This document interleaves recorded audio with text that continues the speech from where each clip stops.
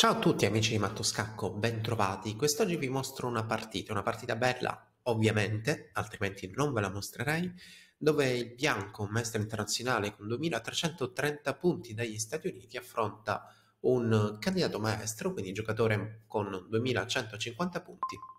Stiamo parlando del maestro internazionale Pashal contro il candidato maestro Grant. Vediamo un po' com'è andata, cavallo F3, cavallo F6 Impostazione della partita abbastanza solida da parte di entrambi i giocatori perché queste mosse vogliono cercare, e se il bianco non vuol far capire che tipo di impostazione voglia dare al suo avversario, il nero anche lui, cercando di fare quella mossa a cavallo F6, potrebbe voler copiare il bianco. Vi ricordo che nel momento in cui il nero copia il bianco, il bianco alla fine ne uscirà sempre meglio, quindi c'è sempre quel momento, qui siamo soltanto alla mossa numero 2, dove il nero deve cambiare strategia.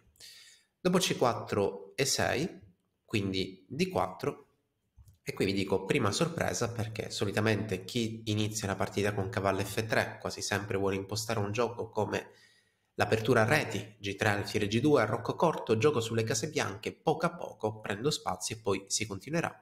Mentre chi gioca alla seconda mossa C4 o alla prima mossa C4 quasi mai, ripeto, quasi mai vuole fare D4. Invece no, in questa partita è stata giocata D4, quindi D5 e siamo rientrati per trasposizione verso territori più battuti. In questa Posizione è come se il bianco avesse giocato d4 alla prima mossa, d5 per il nero e così via. La partita prosegue a 6, siamo nel pieno di una, di una variante, una variante particolare che prende il nome di Janowski e quindi siamo nel territorio della, eh, dell'ortodossa comunque di 4 d 5 se questo pedone andrà in c6 probabilmente ci saranno rientri nell'apertura slava Catturo, catturo e questo pedone 6 sicuramente ha un ruolo, dobbiamo capire quale. La prima impressione potrebbe essere, potrebbe darsi che il pedone si trovi in A6 perché vuole impedire che un cavallo vada in B5 o forse in futuro vada all'alfiere. E la risposta è sicuramente corretta. L'altro ruolo di questo pedone è cercare di sostenere l'avanzata di, dei pedoni B e C. Ovviamente spingere in C corre dei rischi, perché quando io spingerò in C5 lui mi cattura e dal punto di vista posizionale questo pedone D5 soffrirà un po'. La partita prosegue, alfiere G5, piccolo tranello tattico, non è da escludere che si voglia catturare in D5 anticipando il tutto con alfiere per cavallo. A quel punto la donna o difende il cavallo, quindi eh, diciamo, evita la doppiatura, oppure cattura D5. Alfiere 6 porta un difensore di questo pedone e dopo pedone 3, cavallo di 7, alfiere di 3, il bianco è pronto ad arroccare.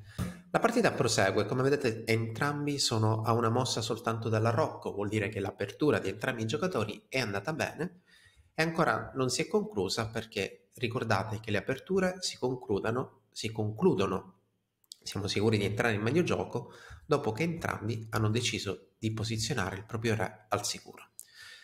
La partita è proseguita in questo modo: prima di arroccare bianco cerca di portare il suo cavallo in avanti, una posizione un po' estrosa perché si coordina rapidamente con l'alfiere, e lungo le case chiare si potrebbe eh, aggiungere la donna, quindi una donna in C2, in D3, forse in H5, sono tutte mosse che potrebbero dare qualcosina. G6 sulla scacchiera, G6 è una mossa dal punto di vista posizionale terribile per il nero. Per quale motivo? Perché se osserviamo, il nero si ritrova con tutti i pedoni sullo stesso colore del proprio alfiere. Se tutti i pedoni sono sullo stesso colore del proprio alfiere, significa, ripeto, significa che quest'alfiere ovviamente non sta bene. Cavallo per E6, questa mossa non mi piace, mi sorprende. Mi sorprende perché se quell'alfiere abbiamo detto che non sta bene perché ha le diagonali totalmente chiuse e cambiarlo vorrebbe dire dare un pezzo forte, in questo caso il nostro forte cavallo, proprio per quell'alfiere. Torre per E6 a Rocco e secondo quanto dicevo qualche minuto fa abbiamo terminato l'apertura e siamo dunque in medio gioco, entrambi i re si trovano al sicuro. Proviamo dunque a sviluppare un piano. Secondo la struttura pedonale, la catena più lunga del nero forma una freccia che punta il lato di re, se facciamo la stessa considerazione con il bianco ci accorgiamo che la freccia invece è dal lato opposto, quindi sul lato di donna. Questo significa che le due frecce corrispondono allo sviluppo che dovrebbe impostare il proprio giocatore. Il giocatore con la freccia rossa, quindi il nero, dovrebbe giocare sul lato di re, mentre il bianco dovrebbe giocare sul lato di donna, creando quello che probabilmente si chiamerà attacco di minoranza. Che cos'è un attacco di minoranza? Questi due pedoni che vanno in avanti allegramente conquistando spazio e creando debolezze. La partita continua, cavallo H5 e adesso il bianco sorprende con questa mossa Guardate che forte questa mossa, attacco la torre. Se lui mi cattura, catturo il cavallo. La struttura pedonale del bianco adesso è superiore. Però per essere molto forte al fiere F5, il nero deve catturare. Il nero ovviamente non cattura, si sposta.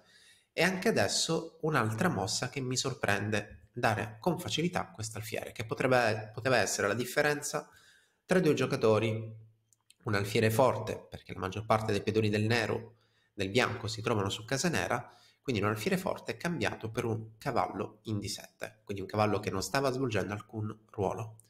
La partita prosegue e se da una parte abbiamo detto che sul lato di donna deve giocare il bianco, sul lato di re il nero sta impostando, sta cercando di impostare il proprio gioco e quel cavallo in H5 che prima non serviva tantissimo, adesso è pronto a sostenere il pedone che possa andare in F4. La partita prosegue, cavallo 5 sulla scacchiera, pedone G5 all'attacco, torre C3. In caso di apertura di spazi, questa torre è pronta anche in questo video, non poteva mancare, la famosissima manovra dell'ascensore, quindi la torre è pronta a dirigersi dalla terza traversa lungo la traversa direzione re avversario, re nemico. La partita prosegue, cavallo G7, torre 1, cavallo F5 e adesso pedone per F4 e anche questa è una mossa che mi sorprende perché, come vedete, indeboliamo la struttura pedonale confidando forse sul fatto che da bianco abbiamo un forte attacco. Donna G4 scacco, mossa importante, dopo torre G7 donna per F4. Il parziale dice il nero ha un pedone in meno e allora vorrà dire che il bianco ha giocato benissimo oppure il bianco potrebbe aver sottovalutato il fatto di ritrovarsi due, torre, due torri contro il proprio re. Sei alla ricerca di una scacchiera in legno professionale? Vienici a trovare su mattoscacco.com, scoprirai le nostre scacchiere artigianali da torneo. Come possiamo ricordare questa posizione con due torri che si possono dire due torri in faccia al re del bianco. Questa posizione il re del bianco non è poi così sicuro. Arriva anche la donna, adesso di pezzi pesanti contro la Rocco ne abbiamo tre, lungo le tre colonne. Torre H3 sembra una mossa spontanea per scacciare la donna avversaria, se non fosse che l'inchiodatura del pedone G formerebbe questo tema tattico. Crea il tema tattico dell'inchiodatura, donna per H3, ci diamo la mano, la partita si conclude perché il bianco ha appena perso una torre. Quindi pedone A3, cavallo H4, tutti e tutto contro G2. Adesso tempo importante contro la donna e questo permetterà la cattura in G2. Quel pedone in F4 col senno di poi era un pedone avvelenato, quindi torre per G2, il re si sposta e a questo punto torre per H2, occhio pericolo, un matto sulla prima traversa e lì nell'aria. Torre G3, pronti a difenderci dallo, dallo scacco, però questa già sembra una posizione compromessa, alterata dall'attività fortissima dei pezzi del nero, e dopo re H8, torre E3. Errore, questa questo tipo di posizione, questo tipo di errore si verifica spesso quando un giocatore è sotto pressione, quindi se voi state attaccando non, non permettete al vostro avversario di rallentare, quindi se voi state attaccando pressatelo perché prima o poi arriverà l'errore, come in questo caso.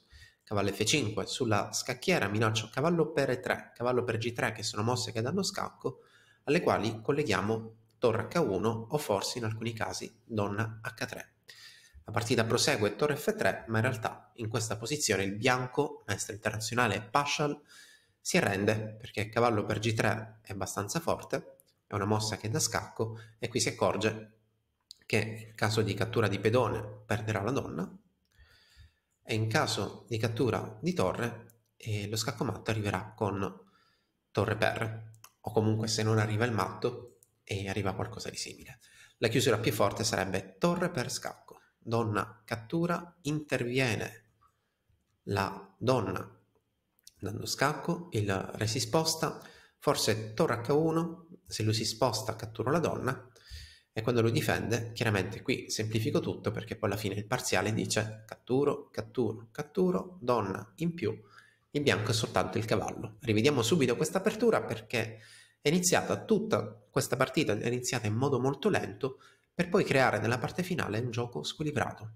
Quindi la partita è andata così, di 4, quindi quindi è come se stessimo giocando una Nimzo indiana, forse catalana, invece no, arriva subito la spinta in D5 e come dicevo prima, questo dettaglio del pedone in A6 si chiama variante Janowski e il nero vuole rallentare questo possibile attacco di minoranza che come in partita si crea dopo l'apertura.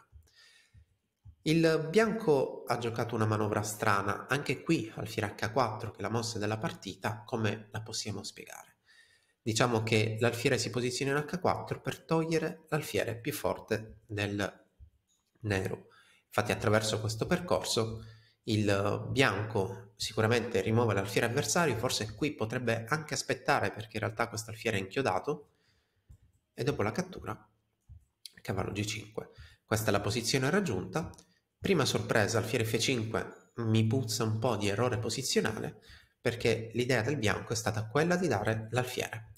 In questa posizione l'attacco di minoranza sul lato di donna del bianco, quindi la spinta del pedone A accompagnato dal pedone B, in realtà non sembra così forte e chi è più veloce direi che sicuramente il nero. Così come in partita, come vedete questo cavallo saltella, ha attraversato realmente tutta la scacchiera, è andato a destra, a sinistra, è tornato avanti e indietro per riposizionarsi dopo qualche mossa in H4 che è la chiave dell'attacco del nero. Adesso i tre pezzi pesanti, così come dicevo prima, allegramente sono parecchio forti, tutti contro l'arrocco. Donna D2, torre per G2 e a questo punto dopo F1, torre per H2, con attacco decisivo. In questa posizione il nero vince perché il, il maestro internazionale Paschal si arrende, quindi vittoria per il candidato maestro Grant Spero che questa partita vi sia piaciuta, ricca di idee e nonostante l'apertura sembrava fosse qualcosa di tranquillo, come avete visto, si è, crea- si è creato poi un gioco tattico. Ciao a tutti e al prossimo video qui su Matoscacco. Ciao!